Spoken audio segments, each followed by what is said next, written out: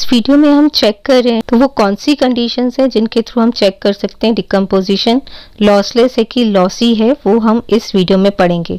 तो conditions to check whether decomposition is lossless और lossy there are three conditions that must be satisfied to make decomposition as lossless join decomposition. If any of the condition fails the decomposition, then decomposition will be lossy joint. तो three conditions हम check करेंगे relations में after decomposition अगर वो three relations three की three relation satisfy हो रही होंगी तो हम कहेंगे कि जो डिकम्पोजिशन है, वो लॉसलेस ज्वाइंट डिकम्पोजिशन है और अगर इनमें से एक भी कंडीशन फेल हो जाती है तो हम कहेंगे कि ये डिकम्पोजिशन लॉसलेस नहीं। Let relation R is decompose into R one and R two sub relations हम सपोज़ कर रहे हैं कि आर रिलेशन को हमने दो रिलेशंस में डिकम्पोज किया आर वन और आर टू में। तो फ़र्स्ट कंडीशन क्या है? Union of R one and R two must contain all the attributes that are present in R तो अगर हम आर वन और आर टू के एट्रीब्यूट्स का यूनियन करें और हमें सारे एट्रीब्यूट्स मिल जाएँ जो आर के हों तो हम कहेंगे ये जो डिकम्पोजिशन है, ये लॉसलेस ज्वाइंट डिकम्पोजिशन हो सकता है। तो attribute of R one union attribute of R two अगर हमें एट्रीब्यूट ऑफ़ आर मिल जाते हैं फ़र्स्ट कंडीशन है डिकम्पोजिशन को चेक करने की कि वो लॉसलेस है कि नहीं है।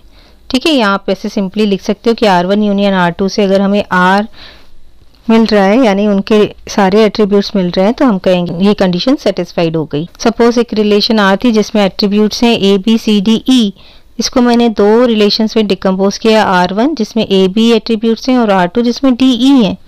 ठीक है तो अगर मैं इसके एट्रीब्यूट्स का यूनियन करूँ तो ए बी हो गया, इसके एट्रीब्यूट्स में क्या हो गया? डी ई तो मुझे एट्रीब्यूट्स क्या मिल गए? A B D E C missing है, यानी कि ये ये डिकम्पोजिशन लॉसलेस नहीं होगा। तो लॉसलेस हो तो किसी एक में सी का होना भी कंपलसरी है।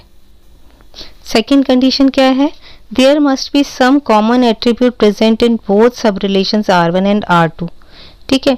तो इसका मतलब है कि R1 one intersection R two अगर आप करते हो तो वो नल नहीं होना चाहिए। दोनों डिकम्पोज रिलेशन में एक एट्रीब्यूट कॉमन होना चाहिए। सपोज़ R रिलेशन है जिसमें एट्रीब्यूट है ए बी सी इसको मैंने डिकम्पोज किया आर वन और आर टू में। आर वन में रखे मैंने एट्रीब्यूट ए और बी और आर टू में रखे हैं बी और सी तो ये देखो बी कॉमन रखा है। अगर आप आर वन और आर टू का इंटरसेक्शन करोगे तो आपको एक बी कॉमन एट्रीब्यूट मिल जाएगा, ठीक है? तो इसका मतलब है ये रिलेशन ये डिकम्पोजिशन लॉसलेस हो सकता है क्योंकि सेकेंड कंडीशन सेटिस्फाई हो रही है। हो सकता है, बोल रही हूँ कंपल्सरी नहीं, क्योंकि तीनों कंडीशन सेटिस्फाई होनी चाहिए। ये कंडीशन सेटिस्फाई हो गई कि दोनों ही रिलेशन में एक कॉमन एट्रीब्यूट है।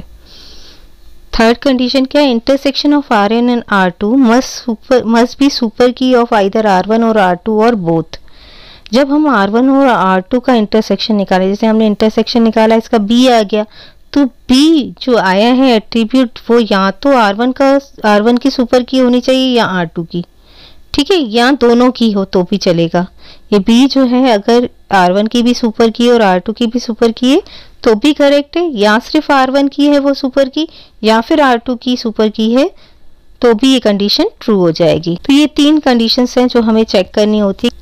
जो आपने डिकम्पोजिशन किया है रिलेशन को मल्टीपल रिलेशंस में, वो लॉसलेस है कि नहीं? तो इसको हम एग्ज़ाम्पल से समझ लेते हैं। दो कैटेगरी के हम क्वेश्चंस देखेंगे, जिसमें हम रिलेशन आर को दो रिलेशंस में डिकम्पोज कर रहे हैं। फिर नेक्स्ट में हम देखेंगे कि हम रिलेशन आर को थ्री रिलेशंस में डिकम्पोज कर रहे हैं। तो दोनों को कैसे सॉल्व करना है, हम वन बाय वन देखेंगे। पहले हम यहाँ पर कौन सा केस देख रहे हैं? Decomposition of R into two relation R one and R two तो यहाँ पर हमें एक आर रिलेशन गिवन है, जिसमें एट्रीब्यूट्स हैं ए बी सी डी और फंक्शनल डिपेंडेंसीज ये गिवन है। हमें चेक करना है check given decomposition of R into R one and R two is lossless decomposition or not R one में हमारे पास एट्रीब्यूट्स हैं ए और बी और आर टू में एट्रीब्यूट्स हैं सी और डी तो हम एक एक कंडीशन को पहले चेक करेंगे। फ़र्स्ट कंडीशन के अकॉर्डिंग क्या होना चाहिए? जो आर वन और आर टू के एट्रीब्यूट्स हैं, उनका हम यूनियन करेंगे। तो हमें में आर रिलेशन के क्या मिल जाने चाहिए? सारे एट्रीब्यूट्स तो check R one union R two equal to R that means union of R one and R two contain all the attributes of relation R हम अगर आर वन के एट्रीब्यूट्स और आर टू के attributes का union करेंगे तो हमें क्या मिल जाएगा? आर के attributes A B C D तो ये कंडीशन सेटिस्फाई हो गई। अब हम सेकेंड कंडीशन चेक करेंगे। हमें चेक करना है कि R one intersection R two null नहीं होना चाहिए। That means intersection of R one and R two must not be null ठीक है? तो आर वन में एट्रीब्यूट्स हैं ए कॉमा बी और आर टू में क्या है? सी कॉमा डी तो इनमें क्या कोई कॉमन एट्रीब्यूट है क्या? नहीं है। इसमें ए बी है सी डी है। इनके एट्रीब्यूट्स का इंटरसेक्शन क्या है? नल क्योंकि कोई भी कॉमन एट्रीब्यूट नहीं है।